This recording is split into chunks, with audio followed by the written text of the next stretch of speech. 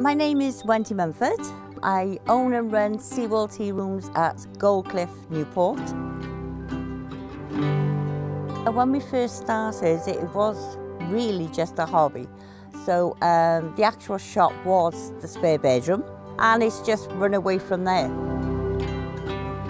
We have all type of people coming here. We have the old, the young, children love it, um, people who are walking the coast path,